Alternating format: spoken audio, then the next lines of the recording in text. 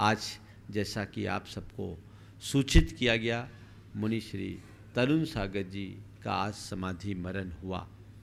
गंभीर रूप से बीमार होने के बाद उनकी स्थिति अत्यंत गंभीर हुई देश भर के लोगों में चिंता हुई। लेकिन हमें इस बात की प्रसन्नता है कि इतनी गंभीर बीमारी होने के बाद भी उनका अंत समाधि पूर्वक हुआ है, ऐसी हमारी सूचना साधु के जीवन का मूल लक्ष्य समाधि होता है। और ये समाधि अच्छे अच्छे साधकों को भी दुर्लभ होता है। हमने जीवन में कितने भी बड़े काम किए हों, यदि समाधि ना हो तो वो सब अधूरा है और जिसकी समाधि हो जाए, वो कुछ ना भी करे तो उसका काम पूरा है और उन्होंने पूरा काम किया।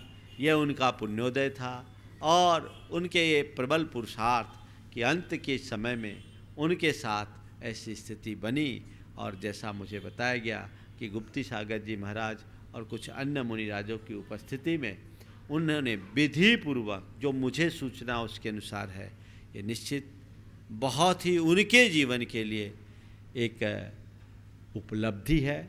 निश्चयतः किसी भी बड़ी विभूति का समाज से दूर होना समाज के लिए एक बड़ी क्षति है, लेकिन आने जाने को तो कोई रोक नहीं सकता। ये तो संसार में लगा हुआ है। इसे कोई रोका नहीं जा सकता। कब किसकी क्या आयु हो, कोई पता नहीं।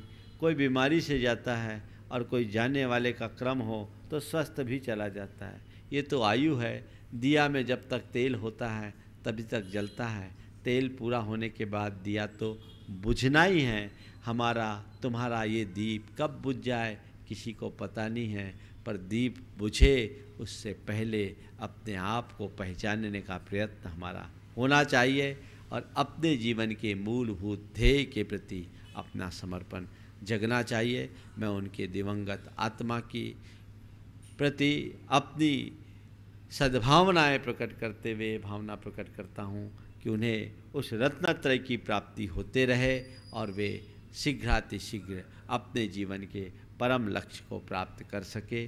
और मैं खुद के लिए और आप सबके लिए भी ये भावना भाता हूँ कि हमारी सच्ची लगन लगे और हम अपने जीवन के परम लक्ष्य मुक्ति के प्रति अग्रसर हो सके।